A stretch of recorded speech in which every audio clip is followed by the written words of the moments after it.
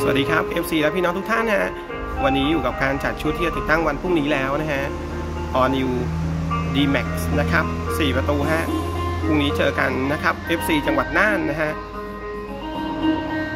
งานติดตั้งลงรถเจอกันพรุ่งนี้ฮะในระบบมีอะไรกันบ้างนะฮะชุดนี้เรียบร้อยเรียบร้อยดูง่าย ๆ สบายตานะฮะลูกค้าต้องการลงในตำแหน่งเดิมนะฮะประตูหน้าและประตูหลังนะครับ ใช้ YSK f a d e Plug นะฮะแบบนี้ฮะทั้ง 2 ชุดประตูหน้า 1 ชุดนะครับรวมถึงทวิตเตอร์ด้วยนะฮะประตูหลัง 1 ชุดรวมถึงทวิตเตอร์ขับด้วยนี่ฮะ YSK นะครับ50.4 นะฮะตัวนี้ฮะ4 ประตูเลยนะครับปรับปรุงสัญญาณเสียงด้วย PM 7 แบนฮะส่วนเบาะถอดออกนะฮะทำเป็นตู้สล็อตแบบนี้ฮะ10 นิ้ว 156 ครับ แม่เหล็ก 2 ก้อนฮะตึงๆกันไปแบบนี้เลย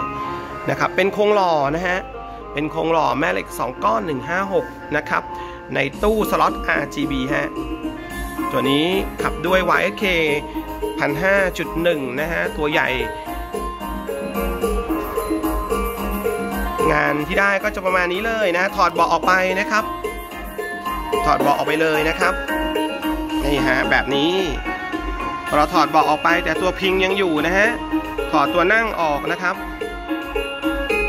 ก็ใช้แทนตัวนั่งได้เลยนะฮะ ด้านหลังยังคงเป็นตัวพิงของเดิมอยู่นะฮะ เดี๋ยวพรุ่งนี้ติดตั้งลงรถเรามาชมผลงานอีกทีหนึ่งฮะว่าออกมาเป็นลักษณะแบบไหนนะฮะสำหรับใครสนใจนะครับสไตล์นี้นะฮะหรือมีความต้องการแบบอย่างอื่นนะฮะชุดนี้ชุดโปรโมชั่น 23 ใบเทานะฮะ9ใบแดงนะครับใครสนใจ inbox ได้เลยนะครับสำหรับชุดนี้ติดตั้งพรุ่งนี้รอรับชมได้เลยฮะฝากไว้ด้วยครับ